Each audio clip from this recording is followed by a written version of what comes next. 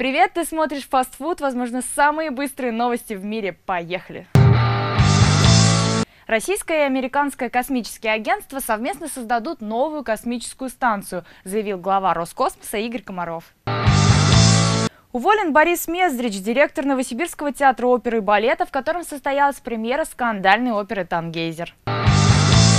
Sony Entertainment Television снимет индийскую версию «Игры престолов» под названием «Рани Махал». Действие развернется в 1857 году в Индии во времена восстания против жестокой колониальной политики англичан. Ярославле из-за плохой явки депутатов едва не сорвалось обсуждение вопроса о плохой явке депутатов. Актриса Эмма Уотсон возглавила рейтинг самых выдающихся женщин 2015 года, сообщает Аскман. И на этом у меня все. Береги себя. Пока-пока.